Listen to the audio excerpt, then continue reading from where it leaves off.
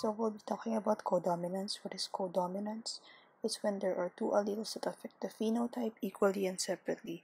This means that there is not just one dominant or one recessive. They don't have that kind of relationship. There will be multiple alleles and that they can all be equally dominant. So they will have equal levels of expression. So first we have, in this case, it does not result to a blended phenotype unlike that of incomplete dominance. And it one example is the human ABO blood type groups. So in a way, there is no recessive blood type. More or less, they will have equal opportunities to be expressed specifically for A, B, and AB. Now they all have at least three alleles, yung A, B, and O. Like these are usually how they are expressed. IA is the allele for blood type A. IB is the blood uh, is the allele for blood type B, and then this small i right here will be the allele for blood type O. So these two are both codominant. IA and IB are codominant. They have equal chances of being expressed.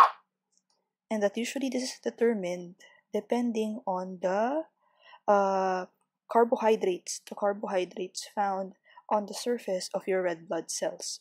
So, iba-iba yung components per blood type. So, if you are, this is blood type AB, this genotype right here.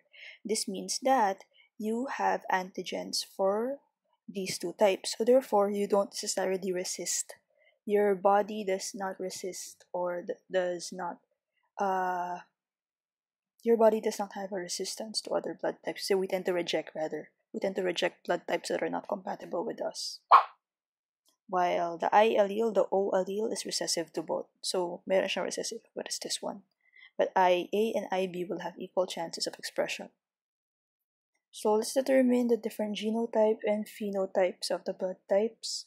So, these are the phenotypes. We'll talk about the genotypes.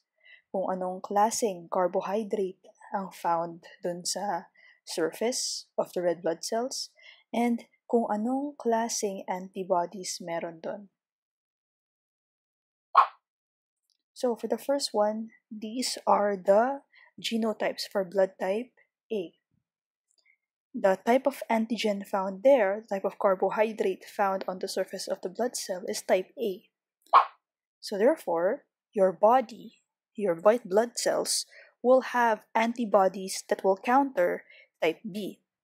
So what does this mean? This means that you cannot donate type B blood to a blood type A person blood type A person who will reject blood type B because the antibodies hate it. Your immune system will hate it. What about this one? You are blood type B. So therefore, these are your possible genotypes. If you would notice, you can carry an allele for blood type O. Your red blood cell will have type B antigens. And that your antibodies will be anti-A. So this means that you cannot donate type B blood to or you cannot rather you cannot donate type A blood to a blood type B person. This one is for blood type AB, these are the genotypes. Isang klase lang ang genotype for blood type AB. They will both have antigens for A and B. And because of that, they do not have any antibodies.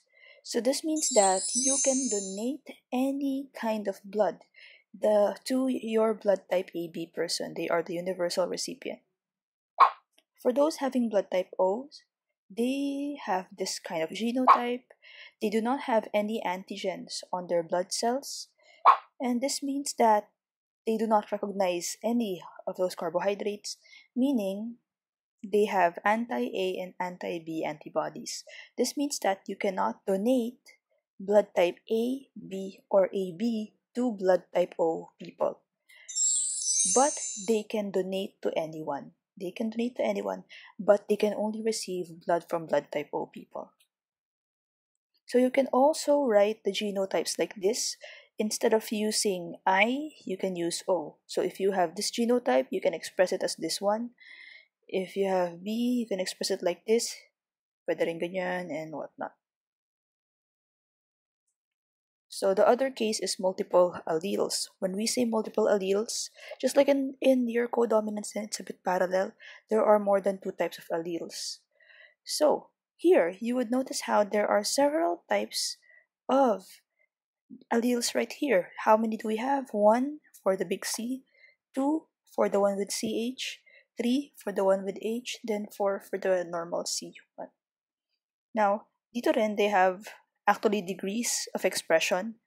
The big C would be the most dominant, while the small c, the one for albino, will be the least dominant. Now, in this case, black is also called agouti, so these are the genotypes para ma-express sila. But, if there is an occurrence of a combination, like if ever heterozygous siya, the one with the stronger allele will be expressed. Black is stronger than chinchilla. Chinchilla is stronger than Himalayan. Himalayan has a stronger expression than albino. So, for example, let's try this one. I'm gonna write down. Oh, oh no. Wait.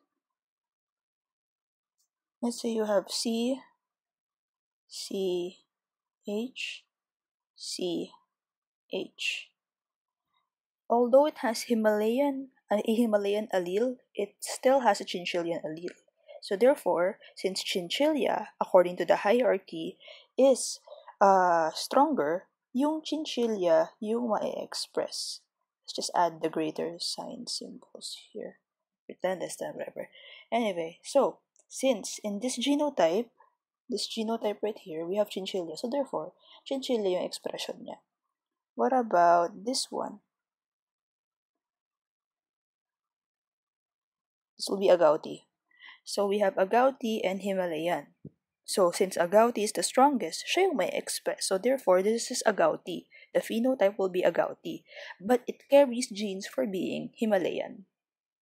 So I'm just gonna keep my pen, go back to pointer.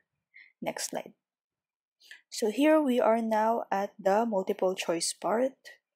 So we're gonna test out these theories. We have Han Solo and we have Princess Leia. They had a son named Kylo Ren, and we can also see their respective blood types.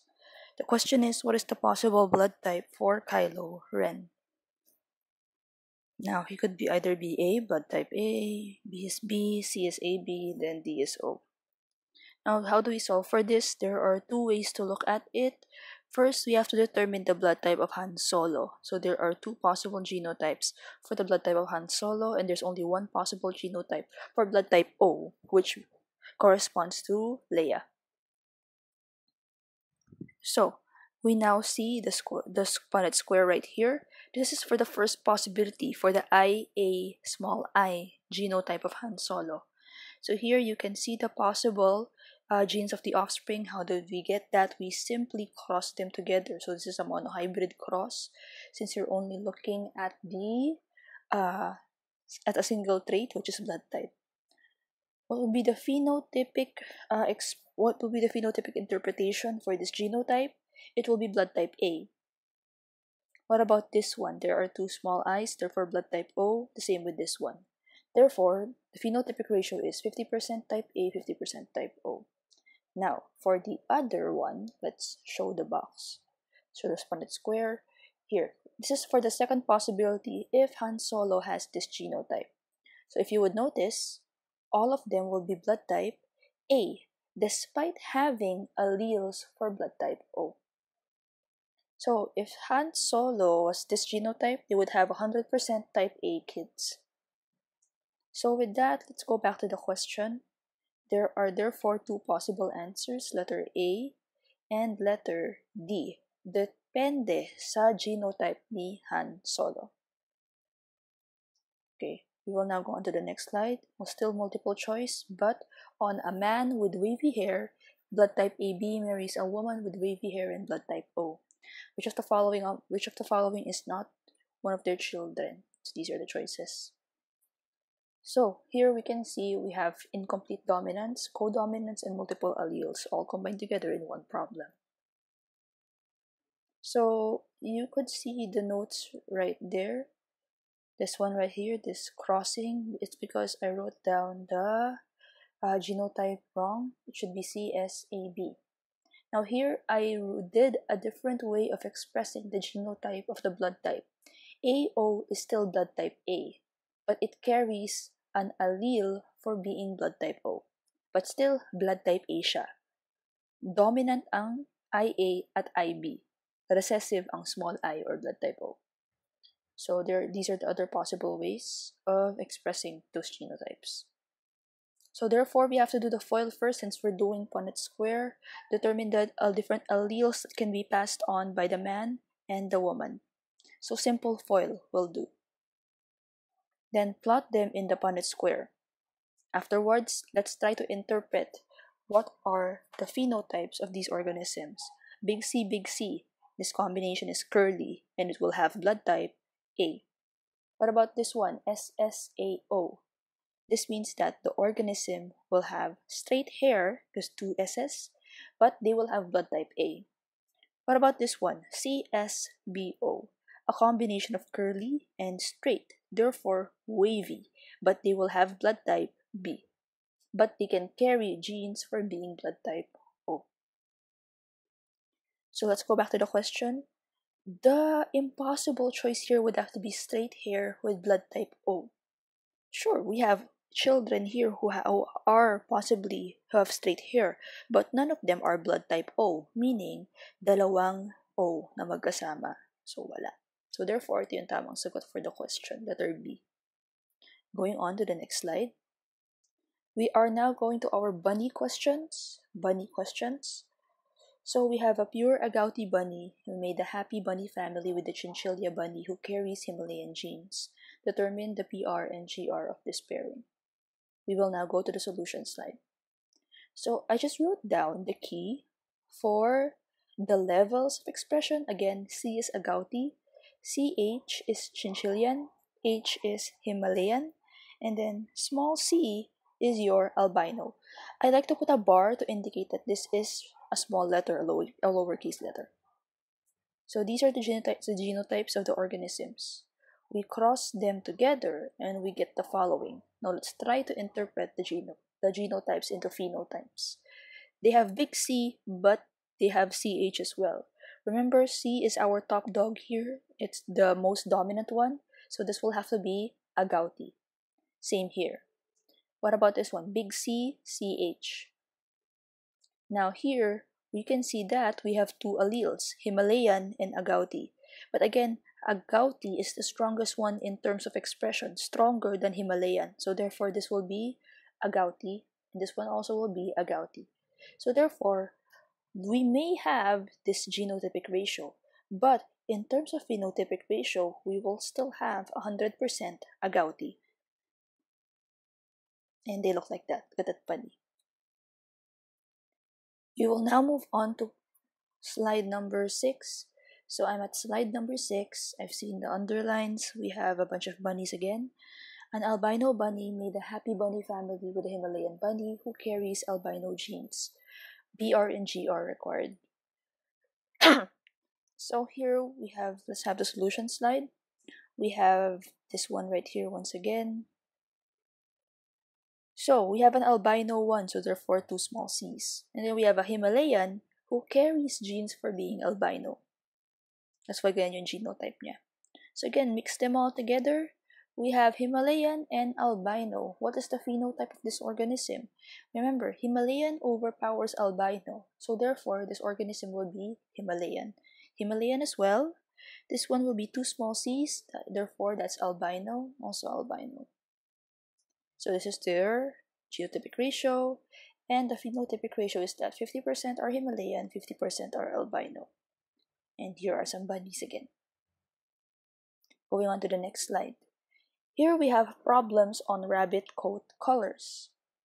So we are to give the genotypes of the parents. So we have the, what we have are the results, the genotypic ratio, rather phenotypic ratio of the offspring. So we have to determine the genotypes of the parents. So number 7, Chinchilla X albino.